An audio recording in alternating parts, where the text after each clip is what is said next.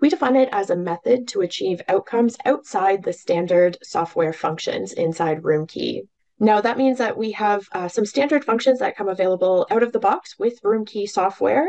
If you want to achieve an outcome that is outside of those standard functions, we recommend a workaround method that involves uh, steps that you need to perform manually or setup that needs to be created inside the database in advance in order to achieve that outcome.